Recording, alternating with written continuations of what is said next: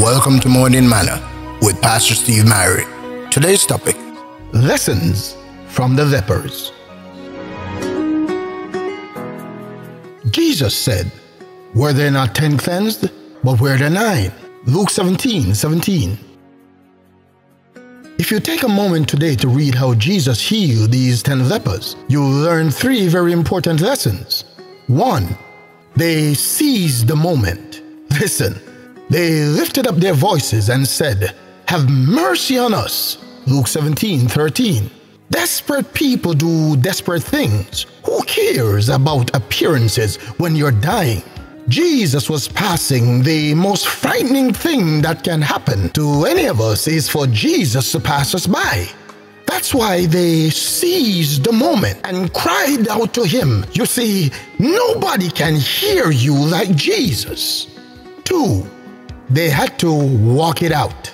Their healing was not immediate, it was a process. Listen, as they went, they were cleansed. Luke 17 14. Often that's how it works. It's not simply one step, but a relentless plowing through obstacles and insecurities until you get to your miracle. You'll appreciate it more when you walk it out day by day, depending on God. And three, only one return to give thanks. That's why Jesus asked, Were there not nine cleansed? The question is, were they too busy, too self absorbed, or just plain forgetful? He said to the one that came back, Thy faith had made thee whole. Luke 17 19. You see, healing can be found in many places, but you can only become whole when you spend time daily with Jesus.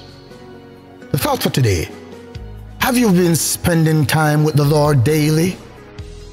God bless you today, in Jesus' name. Please remember to like and subscribe to my page on YouTube. Your support is much appreciated. Waymaker, miracle worker, promise keeper, light in the darkness.